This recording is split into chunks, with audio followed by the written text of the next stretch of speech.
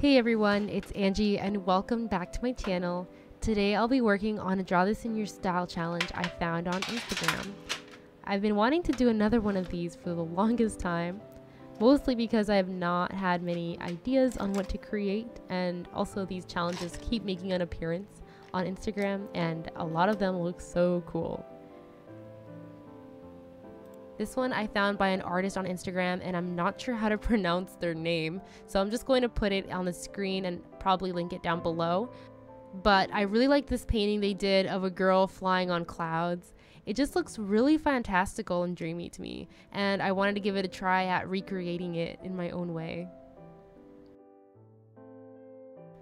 So, to be honest, it's actually been a couple of months since I filmed and put this video together, but I've been really busy with the end of my summer classes and then helping my landlord with their kids and then the fall semester starting up again. I also had like no idea what to talk about for this video and I thought of maybe not even putting it out there. However, I really enjoyed drawing this and coloring uh, this piece and I had already put so much effort into it so I didn't want to just scrap it altogether. Like I mentioned before, the fall semester has begun and now I'm back in school. My summer break um, from when I finished my summer classes was actually like two weeks long. And I really liked summer classes and I did really good grade wise and stuff. So I was really surprised and proud of myself. And it feels so unreal sometimes. Like, wow, you know, in college, it's crazy. So now I'm taking more fun courses as well as like one core class. In total, I'm taking four classes and it's been a bit hectic to be honest, but I've been able to do my homework on time, so that's good.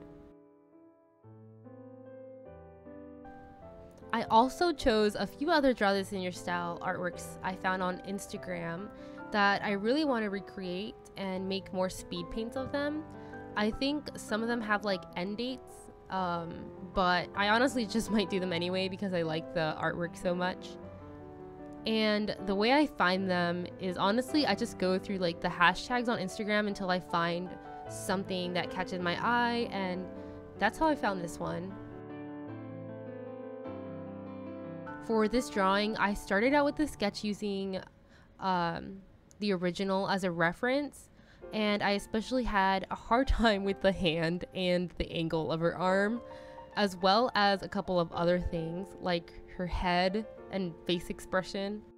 I had also never drawn a raven slash crow before, and I had to look up a few references just because I wanted to make sure I got the pose right and the correct features. An obvious change to the piece was the colors. I really liked the way I colored the previous Draw This in Your Style I did, and I really wanted to incorporate a similar color palette. I think that really adds to it because it makes it look so whimsical and dreamy. I'm using mixed media paper and Prismacolor colored pencils for this as well as silver and gold ink towards the end for the star details. Oh, and towards the beginning, I also used uh, fine Prismacolor colored pencils to do the outlining. Um, I've been outlining with colored pencils for a while instead of my microns, and I really like that uh, that look it has of not just like a harsh black line, but like you can use different colors and create gradients. And I think it adds a lot more, especially when you put more colored pencils and like to the shading, the overall piece. I think it just looks more uh, I don't know how to explain it, like kind of blended together. I really like it. I think one of the most difficult things to do is to just use color pencils for your entire piece. So like no micron, no black outlining. Uh, but it really shows how skilled you are with color pencils just because of how many layers you have to build to get the contrast, the depth within the piece uh, that you would normally just easily get with microns. But with color pencils, yeah, it's a lot harder. But the outcome and the result, I think it's so worth it. Another thing I did was add tassels to her outfit, although it was hard to keep them through the picture, but in the end I emphasized them uh, with the ink and I really liked the way that tied it all together. I think it really made my vision a reality. And for the colors, I wanted to have her uh, not just flying through the night sky. I wanted it to be more towards like a sunset time. And so I used yellows, oranges, and purples, and I added a lot more stars. And I try to have like glow from the stars to create like a, a very glowy uh, atmosphere. And I love the results. It was definitely one of those fun projects that you just enjoy the entire time from start to finish.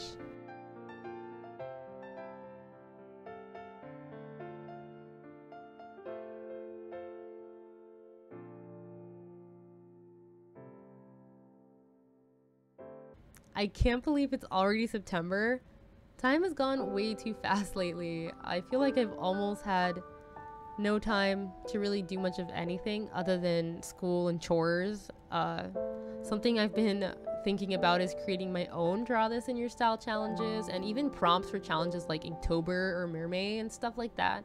But starting can be so daunting, and I think starting small to gather some momentum would be a good place to start. Um, but those types of uh, challenges do come with a lot of planning. And right now with school and everything, it's just crazy. Um, I definitely want it to be colorful like this one and for it to kind of tell a story if I were to make uh, a challenge of some sort. Something I've learned in one of my classes is that I should draw larger, and we've been using pretty large paper just for still life drawing, and I've been challenged as well, um, as well as enjoying part of the process. But it was definitely challenging to draw large. I never draw more than like a, a regular eight and a half by 11 piece, really. I think drawing larger is definitely helpful in many ways. One is getting out of your comfort zone and putting to practice the skills you have and maxing them out to their full potential. It's like, it's been really interesting to see what I come up with, really.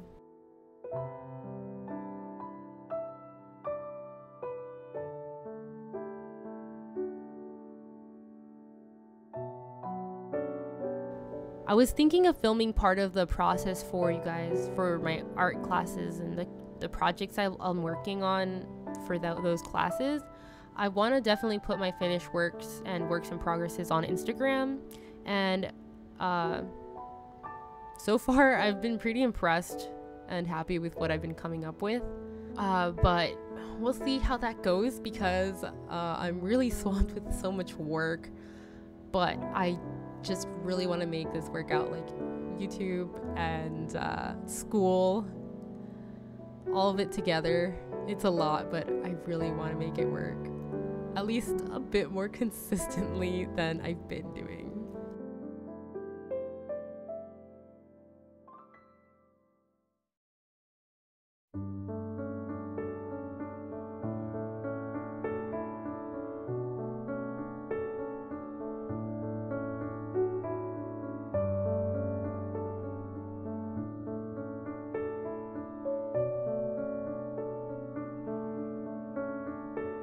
Uh, I hope you really enjoyed watching this video and the process. Stay tuned for more. Let me know what you guys think if you have any ideas for videos. If you guys uh, are interested to see anything specific, let me know. Don't forget to follow me on Instagram and subscribe so you know when I post another video. I'll see you guys in the next one. Bye.